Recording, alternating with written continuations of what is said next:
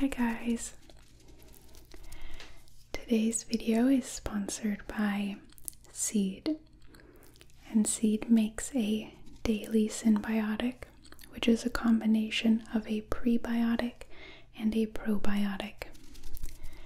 I'm really excited to be working with them because they are a company who's really into the human body and science. They've actually just released an album on Spotify called Never on Mute, which showcases the sounds of the human body in a really cool and beautiful way. So I'll be playing some snippets of that as I talk about their daily synbiotic. So when you first sign up for Seed, they send you your starter package in really sustainable packaging. And it comes with a 30 day supply of capsules in a really beautiful glass container, along with a glass travel case. And since it is a monthly subscription service, they also send you your monthly refills in more sustainable packaging, which I love. And you simply add your new synbiotics to your existing glass jar. So I've been taking this synbiotic for about a month now, and I'm already seeing the differences in my skin, in my overall health. It has a lot of systemic benefits beyond just digestive health, such as gut barrier integrity, cardiovascular health, dermatological health, and much more. So, you might be wondering what is in each capsule. And in it are 24 strain, broad spectrum probiotic and prebiotic formulated for digestive health, gut immunity, and additional systemic benefits. So, I don't think you guys can see on camera, but inside there is a second capsule inside this first large one, and that is so the live probiotics will actually make it to the end of the small intestine for delivery into the colon. So I'm actually so excited to be working with this company and trying their product because of their commitment to sustainability, to science, and also just the very real effects I've been feeling from taking their synbiotic on my gut, on my skin, just a lot of systemic benefits, and I'm just really impressed. So, if you've been enjoying listening to the songs that I've been playing, you can go check out their album Never on Mute in my description. I'll leave a link below. And also, if you want to try their daily synbiotic, you can go to seed.com and I'll also leave a link in the description. So, once again, thank you so much, Seed, for sponsoring today's video. I'm really excited by your company and by your product, and I hope everybody watching this will go check it out. Especially if you've been looking for a probiotic to try. Okay, guys, let's get right to the video. Hello. You must be here for the mezcal and tequila tasting. Great. I'm Sarah. Nice to meet you. And your name is? Great. Okay. Well, go ahead and have a seat. I'll be the one kind of walking you through our process and how tequila and mezcal is made, and also giving you a few free samples. So, once you're all settled in, we can kind of get started, okay? Great. How did you hear about us? Okay. Cool. Our Facebook group? Yeah. So, part of your package today will come with a free shot glass, and also I've picked out my current four favorites right now. So, of course, we can adjust as needed if you really don't like the direction we're going, but think that you'll like these four I've selected. Okay, great. So, can you tell me a little bit about, you know, your experience with tequila and mezcal? You've had some bad experiences. I think we all have. Um, no, but like, do you know what kind you like, or even how it's made? The difference between tequila and mezcal. Okay, so you don't know too much. That's great for me. I love talking about mezcal and tequila, they're my favorite liquors. So we can go ahead and do some tasting soon to see what flavors you like. But before that, we can have a short little history lesson and just learn all about it. So, if you're comfortable, let's go ahead and get started.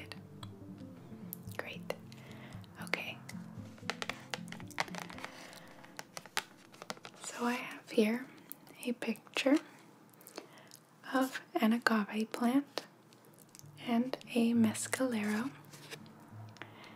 A mezcalero is a man who harvests agave and turns it into tequila and mezcal. If you've ever been to Mexico or to the southern United States, you've probably seen these plants all over. There are hundreds and hundreds of types of agave, and that is the main difference between tequila and mezcal. So, what I mean by that is that tequila is always mezcal, but mezcal is not always tequila. Essentially, tequila is a type of mezcal. Tequila has to be made with a blue agave, which is a type of agave, and specifically, it needs to be created in Jalisco, Mexico. So it's similar to, you might have heard that real champagne is made in Champagne, France, and bourbon is supposed to be made in the United States. It's like that.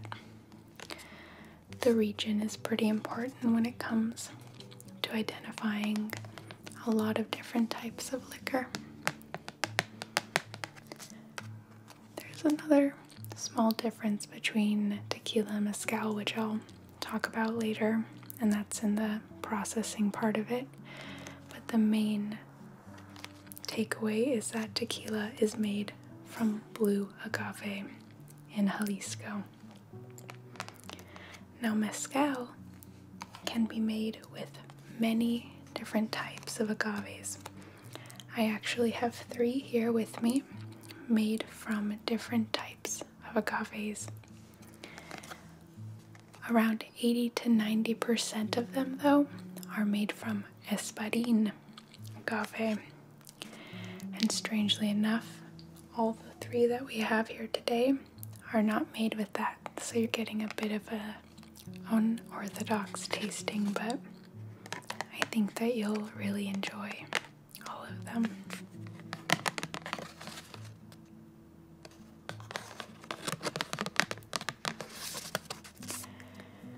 So, let's talk about how mezcal is made. So, when you have an agave plant, once it's reached the age that you'd like to harvest it, which is different depending on what type of mezcal or tequila you want to make, a bunch of different factors, sometimes up to 25 years or more, or sometimes just seven. But I digress. The process is the mezcalero or his farm workers will chop off the spines right here of the agave with a machete. They'll hack them off, leaving a base called the heart of the agave. And in Spanish and Mexico, they're called piñas, which is pineapple, because they look a lot like a pineapple once all the leaves are chopped away. So they'll take these piñas and they'll put them in an underground pit lined with rocks, cover it with mud and sticks, basically creating an underground oven. I don't know if you've ever had barbacoa before, but it's a Mexican style barbecue or way of roasting meat. And it's very similar. So for mezcal, hearts will be roasted for up to three days, which is why mezcal has a really smoky flavor. However, tequila, because it's much more modernized, can be cooked above ground and it loses a lot of that smokiness. I'm sure you've tasted all kinds of tequilas and noticed that there isn't a lot of variation relatively. It's nothing compared to the variation in mezcal, which some are extremely smoky and have a very interesting flavor array, and some are more like tequila. It really depends on the type of agave, how long you roast it, things like that. So once it is roasted, it will be mashed up uh, and water will be added and then it will be distilled and turned into mezcal. Alright, so I bet you're excited to get into the tastings. Let's go ahead and do that.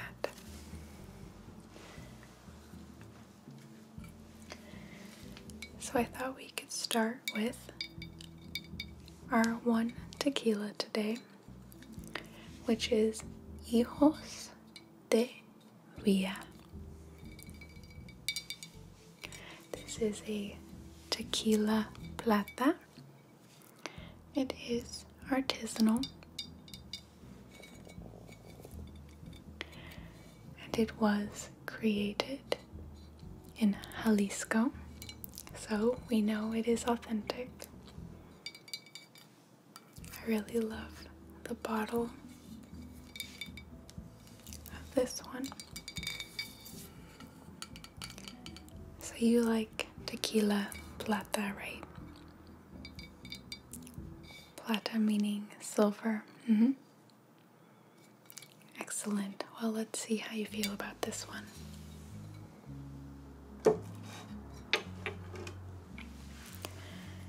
I have two shot glasses, one of which you will be able to take home with you.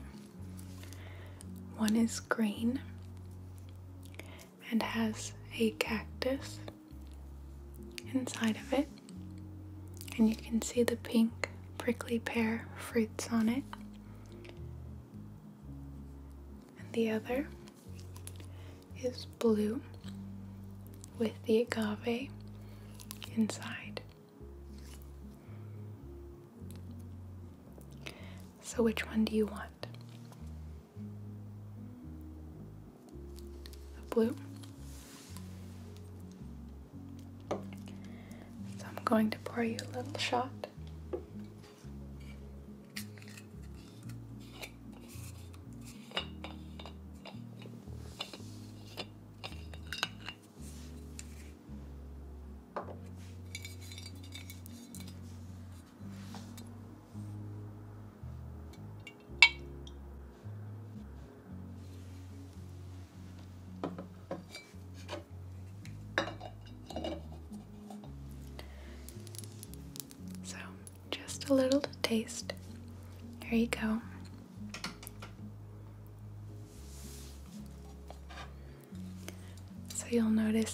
Are oranges and limes and salt for you to garnish, but I recommend just drinking it slowly, trying to pick out the flavors. I know that's not that common to do with tequila in the States, but you'll really notice a lot of things you normally miss when you take it as a shot.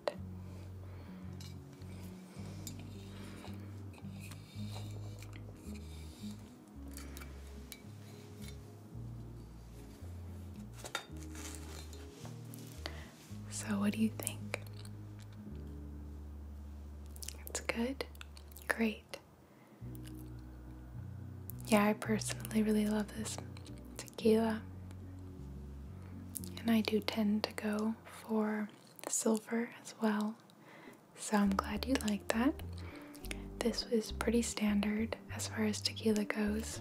With the mezcal, we'll get a little more adventurous. So, and we'll learn a little bit more about the families and the ranches that create the mezcal because mezcal is still pretty artisanal. It's normally small batch. There's even many types of mezcal in which the agaves are wild grown. They can't be farmed. There hasn't been much success in farming them, and so they are harvested from the wild.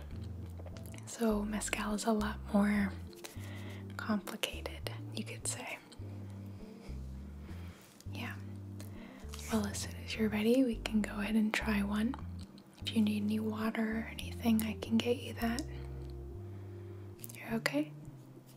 Okay, great.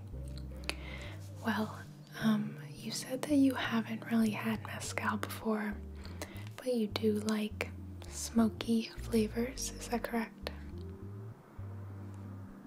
Okay, well, then I'm glad because we have quite a few mezcals on the smokier side. It is an intense flavor for somebody who is not used to smoky liquors, but it's one that I love a lot, and I guess we're here to find out if you also like them.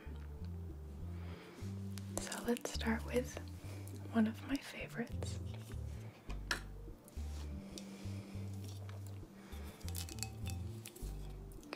It's in this really beautiful flask.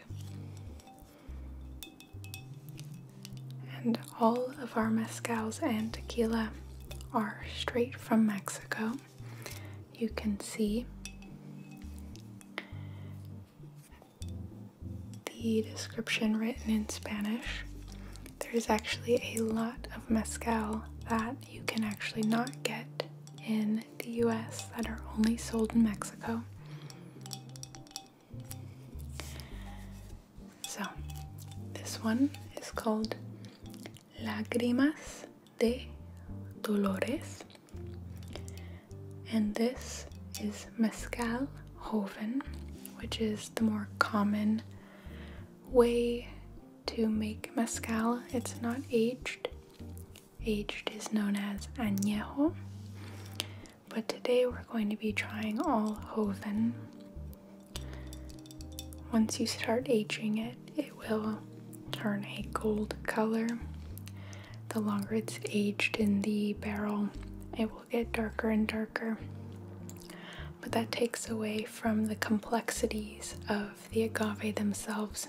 You start tasting more of the barrel, and it's really influenced. So, we're going to be trying only Joven today. The cool thing about this mezcal is that the person who owns it or is in charge of its creation is a woman. So she's a mezcalera and she has a degree in biotechnology and biochemistry. So, a very smart lady is the head of this artisanal mezcal.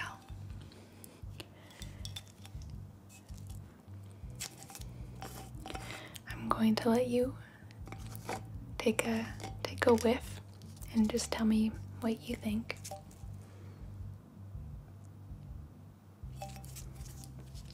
Mm -hmm. Pretty smoky, but smells good. Great. Well, now that we've had the tequila, I'll show you how to drink mezcal.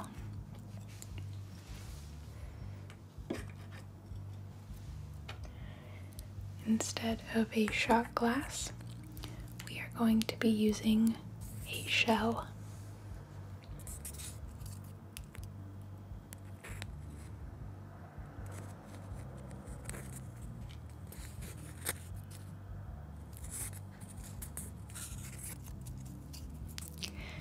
This ring, made of bamboo or wicker, is for the shot glass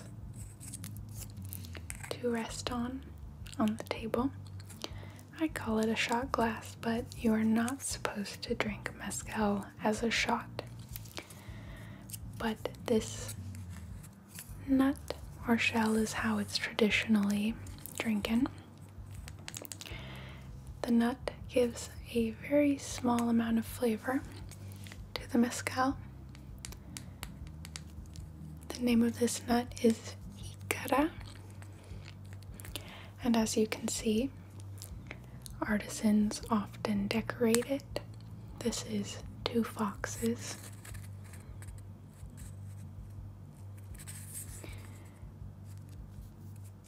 And it's really beautiful. You can find a lot of different kinds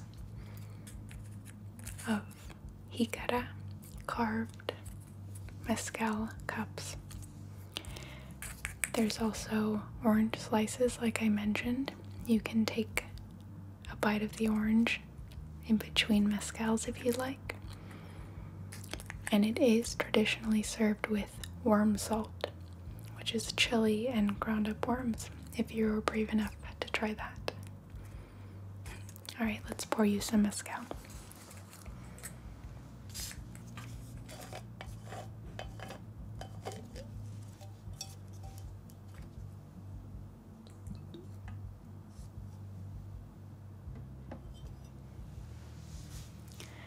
So, here you go.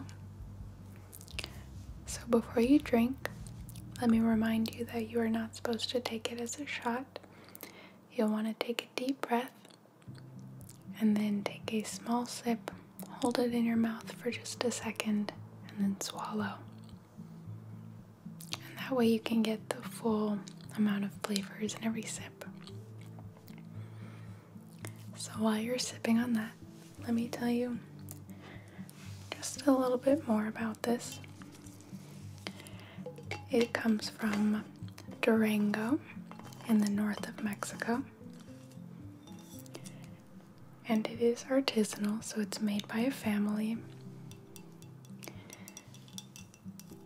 It's made from the Durangensis. it's a little harder to pronounce, or cenizo agave. Once again, it is not espadin.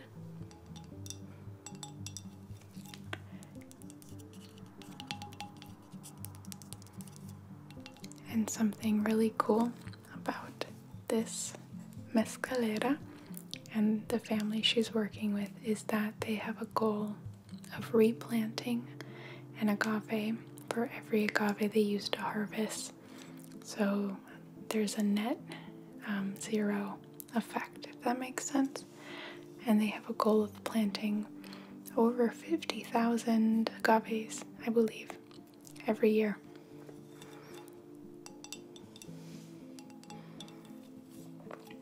And like I said, the flask is really beautiful. I do have one more flask behind me here that we will be trying. I don't know about you, but I really reuse just about every pretty glass bottle that I can, so. So, what do you think of the mezcal? Are you noting the smokiness? Maybe you'll notice the subtle herbal aroma. Great. Okay. Well, when you're ready, we can go ahead and try the next. But you would say you liked it? Excellent, because the next has a similar profile, but I think I prefer the next even more than this one. It has so much going on in every sip. Mezcal is one of the only liquors that I can sip on just because it's so interesting. Okay.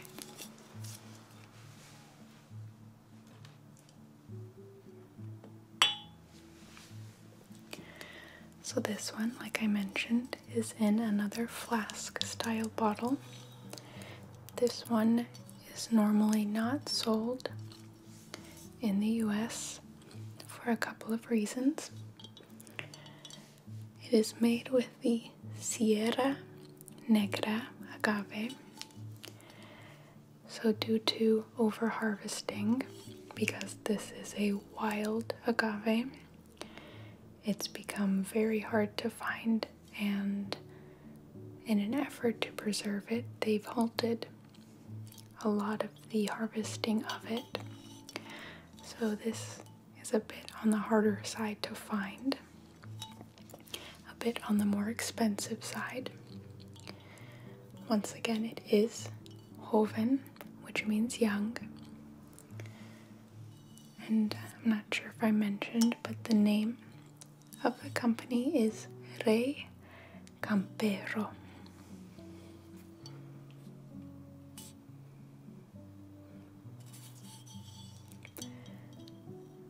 Once again, I love the bottle, and it does make me a little sad that not just this company, but various companies overharvested the wild agave. It's really interesting that some agave cannot be raised in a farm. It complicates things in terms of any kind of large scale production. So, like I've mentioned, most mezcal is small batch. So let's go ahead and try this. So I'm going to take your cup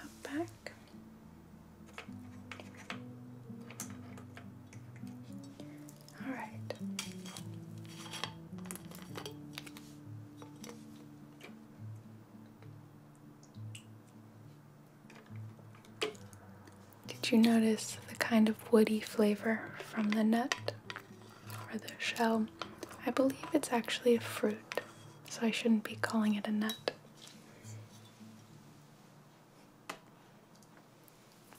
You did.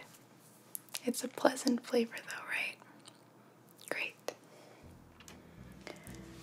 So here we go. You know what those little cups remind me of, though? If you've had sake before, which is a Japanese rice liquor, it's also served in really small cups, and I'm pretty sure intended for slow sipping as well. Yeah, it reminds me a lot of that. So, once again, as you sip on that, let me talk a little bit more about this mezcal. So, despite being called Joven, the agave itself is not young. It took about 25 years for this agave to reach maturity in order to be turned into mezcal.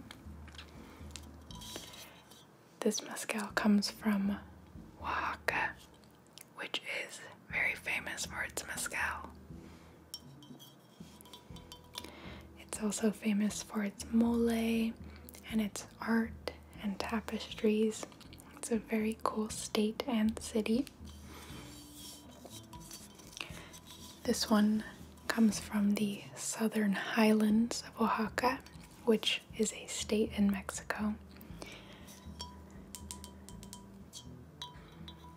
And of course, it comes from another family ranch who has been making mezcals for generations and generations, which is something I think is super cool.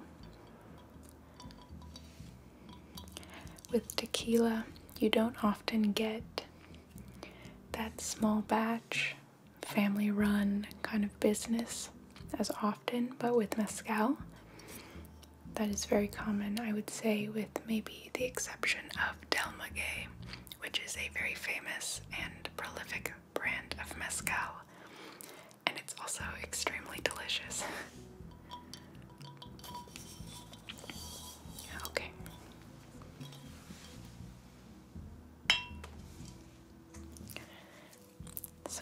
this mezcal, you might note a little bit of a molasses flavor or brown sugar, along with that classic smokiness. You do? Excellent. Okay, well, if you're finished, let's go ahead and try the third and final mezcal, should you choose to, because this mezcal is not for the faint of heart. It's a bit more adventurous, and that's because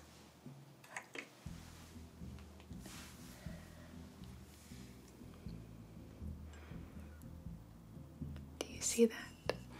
It has a worm in it.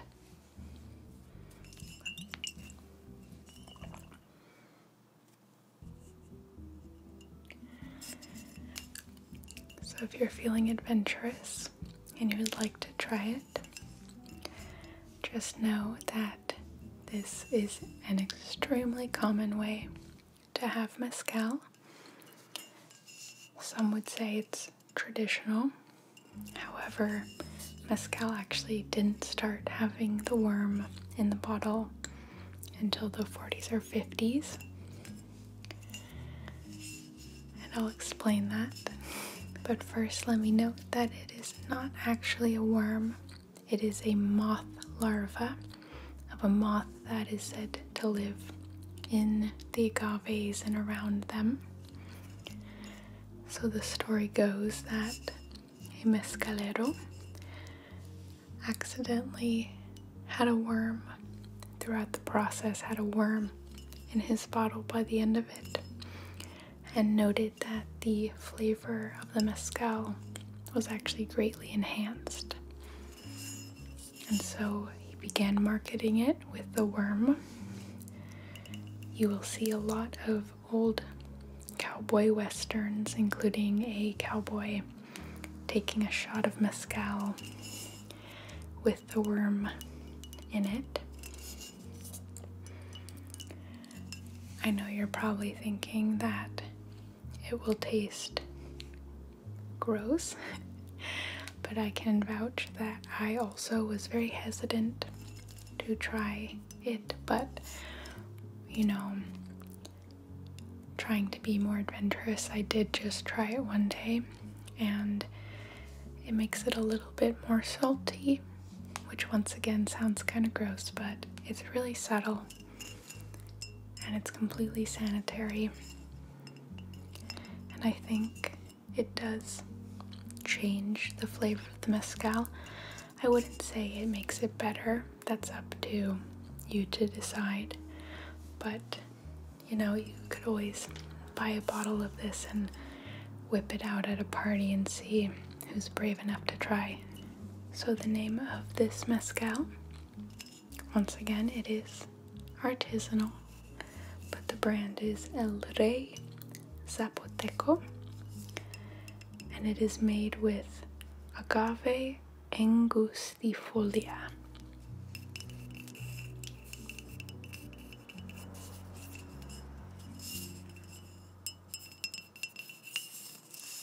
It is unopened, so you'll be the first lucky person for this bottle.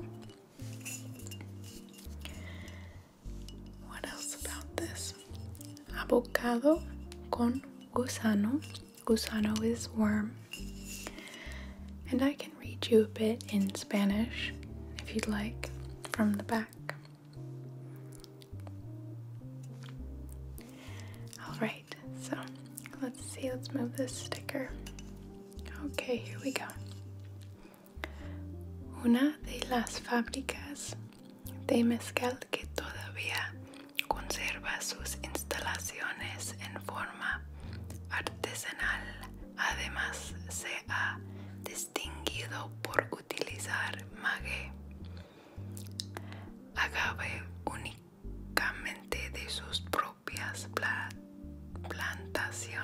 lo que permite. Well, you get the gist. I'm learning Spanish. I'm not quite fluent in that, so I don't want to try to translate that for you and totally slaughter it. But this is a very prolific mezcal maker in Mexico. They are a bit more tourist You'll find this brand in a lot of more touristy areas, so if you're curious. Alright, are you feeling brave enough to try it? Excellent.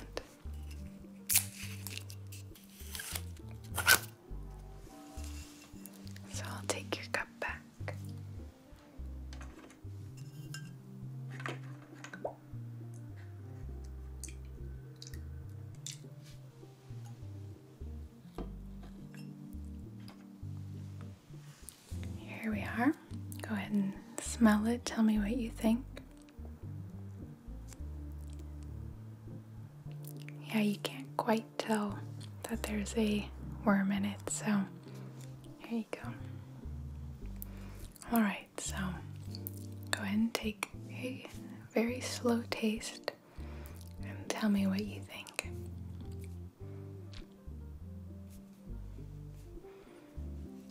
Okay, see, yeah, so you don't notice it as much. If you can get past the mental block, it's a really kind of cool experience now. I felt the, the same way when I first went to Mexico at bars.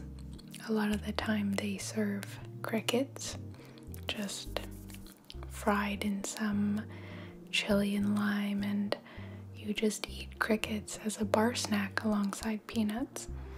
And I make it a point to try as much as I can in countries when I'm visiting.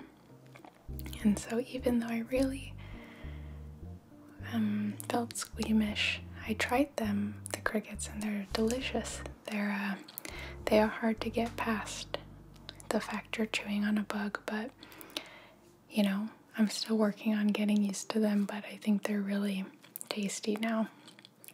Though uh, they don't quite beat out like a good potato chip, but they're, you know, I think it's fun to try things like that. So I'm really proud of you for trying. A lot of people chicken out, so good job. Which um, mezcal or tequila? We only had one tequila. Which liquor was your favorite today?